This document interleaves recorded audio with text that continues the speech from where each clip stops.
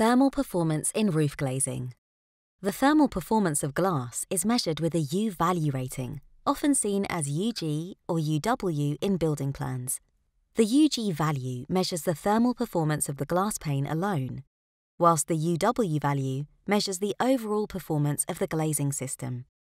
UG values for architectural glazing are given when a pane of glass is in its vertical position, meaning that any change to the angle will affect the thermal performance of a structural glass roof or roof light.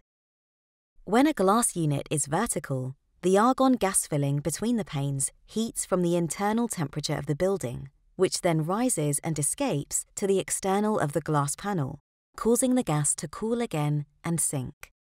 When you tilt the pane, the same effect happens, but the vortices occur a lot more frequently across the glass unit. This is because the convection currents can only travel vertically. One way to improve the thermal performance of your roof glazing would be to specify low E coatings within the glass specification, which IQ Glass provide a standard on all glazing systems.